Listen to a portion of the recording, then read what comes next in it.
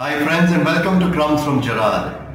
Today the gospel reading at Mass is from Matthew 11. I read one verse. From the days of John the Baptist until now, the kingdom of heaven has suffered violence and the violent take it by force. This is one scripture quotation which is very difficult to understand and scripture scholars have tried to understand the various interpretations to it. I give you now two different translations, one from the RSV Bible and one from the NIV translation.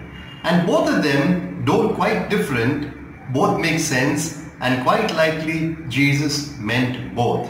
Let me give you the first translation from the RSV, which I actually just read to you. From the days of John the Baptist until now, the kingdom of heaven has suffered violence, and the violent take it by force.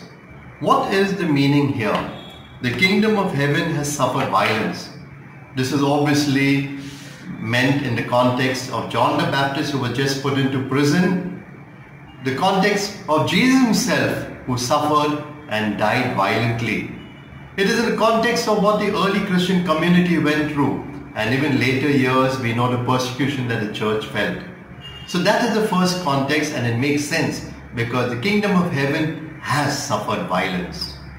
The second translation is from the NIV Bible and reads as from the days of John the Baptist until now, the kingdom of heaven has been forcefully advancing and forceful men lay hold of it. What does it mean over here? Forcefully advancing. In other words, the kingdom of heaven is not for the weak. It's for those who are strong, who are tough, who are brave, who are bold, who are ready to go on and carry on no matter how difficult it is.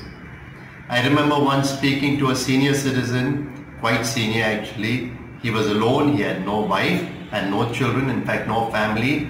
And I knew that his, his financial situation wasn't good. And I asked him how was he managing? And I knew the difficulty he was going through. But he said, we have a good God. The way he spoke, no matter what difficulty was he was going through, he trusted. I thought that was beautiful. And that may be the same with you. You may be having a difficult boss or you may be having a financial problem or a loss of job or ill health or a difficult child. And yet you know we have a good God and I can carry on no matter how difficult it is.